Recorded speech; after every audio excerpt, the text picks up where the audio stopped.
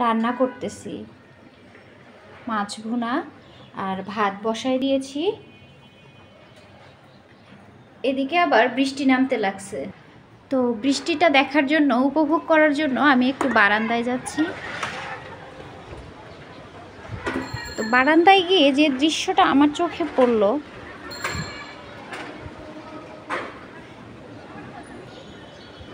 দেখতে পাচ্ছেন কি না সেক্টরের ভিতরে খুব কমই মানে খালি ফাঁকা জায়গা আছে। তো যে দু একটা আছে, তার মধ্যে এইটা একটা।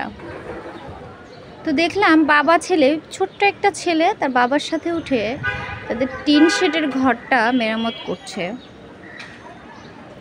তো বৃষ্টি আসলে সবার জন্য যে সুখকর, এরকম কিন্তু নয়।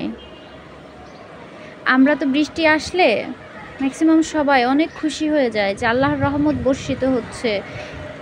কিন্তু অনেকেই প্রে করে যে, আল্লাহ, বৃষ্টি না নামক এখন, তাহলে আমার ঘর ভিজে যাবে। তাহলে আমার সব কিছু নষ্ট হয়ে যাবে। তো যাই হোক, আল্লাহ তালা সবাইকে ভালো রাখুক। আমরা এই রমজান মাসে সেই দোয়াই করতেছি।